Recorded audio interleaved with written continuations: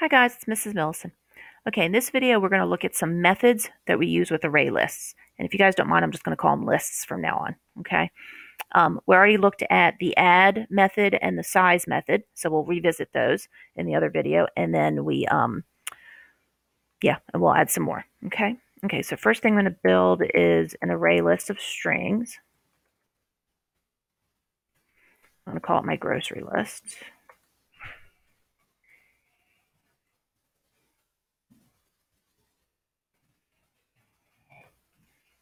And let's add a couple items to my grocery list.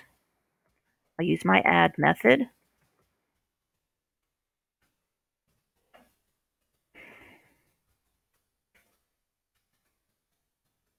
I'm going to add a couple items.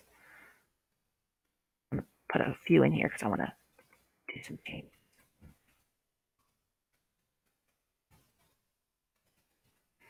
And then we'll just get eggs in here as the last one.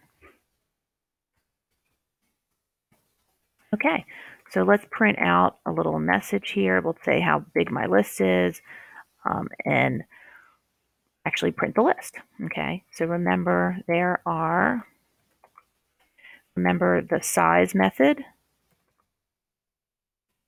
So this will tell me the size of my list, which will be four. So there are four items on my grocery list. And then remember there is a built-in print method. Or all I have to do is put the um, list name in there and it'll print all my items. Okay, oh good, no errors. Okay, so there are four items on my grocery list, banana, apple, cheese, and eggs. Okay, all right. Now I just want to talk about this. A couple things. Um, obviously the size method yields an int. Okay, we have an int. But I want you to see what happens when I add something, okay? Now, if I, um, if I do grocery.add uh, milk, let's do milk. Okay, it's going to add milk to my list, but this is also, since I have it in my print statement, you're going to see wh what it what it yields. Okay, it actually returns something. That add method returns something. It returns a Boolean true. Okay, um, I think that's just returns. It always returns true because I think it's confirming that it got added to the list. And that might go back to some old um, code a gazillion years ago where they had to confirm when something if confirm if something was added to a list or not okay? So just keep that in mind. You can uh, when you do the add method the dot add method it does return a boolean. We don't need it. I mean up here it's not like we used it but just be aware okay? Now there is another um, type of add okay? There's a second method for add.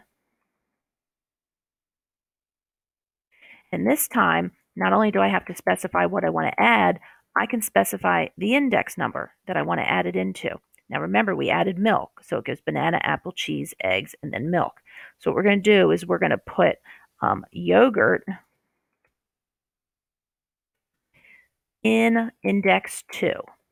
Okay, so if I specify an index number and then the item, okay, then the object that I'm going to put in, and this happens to be a string, it'll take um, 0, 1, 2, it'll take cheese and eggs and everything after it, move it over, and stick yogurt in.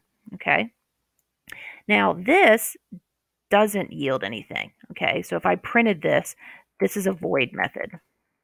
Okay. So nothing actually yield, no, nothing returns from this in our list so we can see it.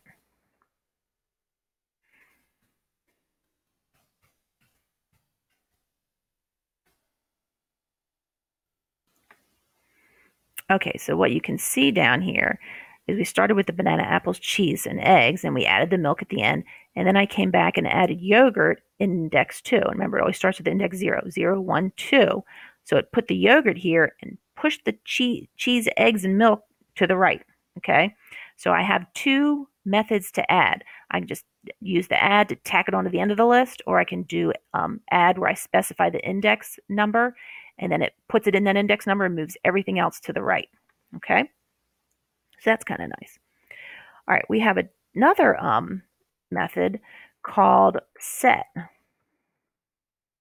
Okay, and what set does, it actually changes one of the items. Okay, so I have to tell it what index. So let's see, 0, 1, 2, 3, 4 will change index 4, which is eggs, to bread.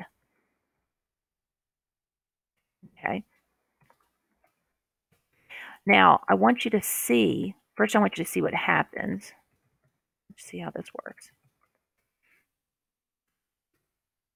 So now 0, 1, 2, 3, 4 eggs will now be bread. And eggs are gone. Okay, so set replaces a value um, in a specific index with whatever value you're putting in. Okay, but I also want you to see something here. If I print this,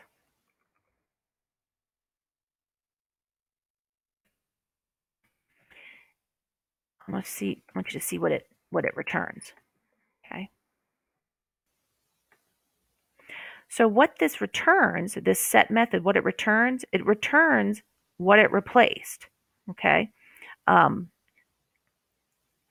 so it replaced the eggs with bread. So it returns what it replaces. So that's kind of nice because you can keep track of things that you've changed. What was replaced?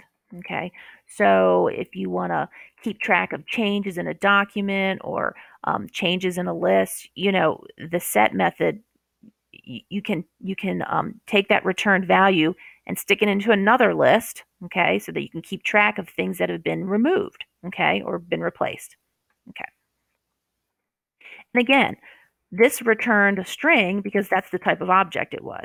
If this was an integer array list, what it would have returned was the integer that was replaced. Okay, so it doesn't matter what type of object it was, whatever is replaced, it will return. Okay. Okay, I got two more. Remove. Now, remove is pretty self explanatory. Um, let's remove. Uh, what should we remove? Uh, I don't know. Let's remove yogurt. Zero, one, two. Ah, let's remove um, cheese. Zero, one, two, three. So I'm just going to say um, remove 3. Okay, so what this will do, oops, it'll just remove um, the item in 3, okay, in index 3. So if we print our list, of course I forgot what 3 was already. What was 3? Cheese? It shouldn't be the cheese anymore and indeed cheese is gone. Okay, so it removes the item and then it, you know, continues the list from there. Okay, um, now does this yield anything? Let's see if this returns anything.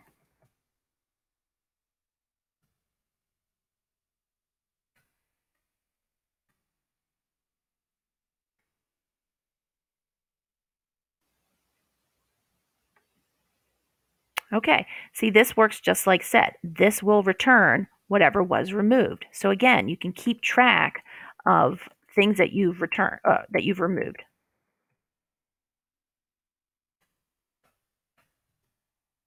Okay, that's kind of nice. Not only these methods updating your list, but you can keep track of stuff. Okay, you keep track of things that you've replaced, things that you've removed, and all that stuff. Okay, the last one is um, the get method. Okay, so let's see. Um, if I do grocery dot get, and again, this is just like a getter. Okay, it's it's going to get um, the item from the grocery at a specific index. Uh, let's get zero. Let's get bananas. Okay. So of course, if I run this, nothing's going to happen. Oh, I know what I want to do. Let's print the list.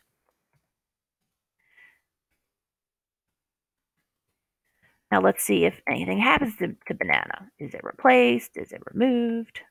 Okay, banana's still there. Okay, so get doesn't um, remove the banana or change the banana, but it does grab that item if I want to um, print it or use that specific um, specific item in the list for something. Okay, maybe in a method or um, maybe make a statement. The first the first item on my list is Okay.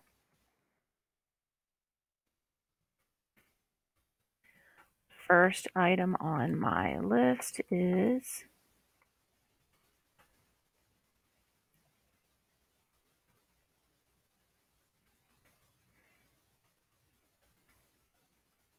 And the last item is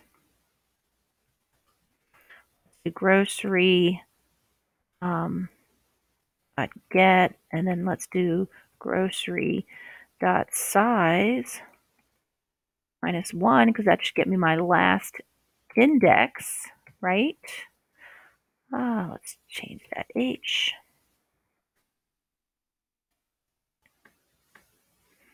So the first item on my list is banana, and the last item is milk. Okay, so it's it's a good method if you need to just grab a specific item um, by way of its index number. Okay, and again, that yields whatever you're going to get. Okay, so if your list are strings, it's going to yield a string. If your list are integers, it's going to yield an integer.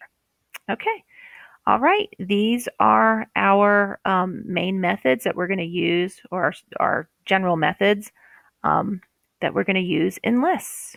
Okay, zoom up or scroll up a little bit. Okay, I hope this was helpful, and I will see you next time.